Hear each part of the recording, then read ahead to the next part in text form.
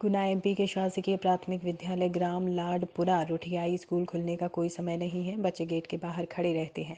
साढ़े दस बजे पर स्कूल के मास्टर मैडम समय पर स्कूल नहीं खोलते, ना समय पर आते हैं। बारह से एक बजे तो स्कूल में आते हैं और उसी समय पर स्कूल भी खोलते हैं। कभी कभी तो बच्चे स्कूल के बाहर खड़े होकर घर चले जाते हैं।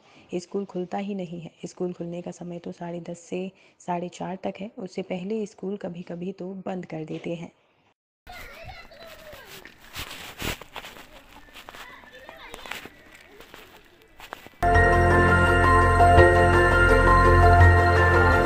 देखते रहिए डीबी भारती समाचार नज़र हर खबर पर।